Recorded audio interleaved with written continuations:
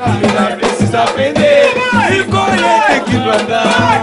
É Deus quem aponta é a estrela.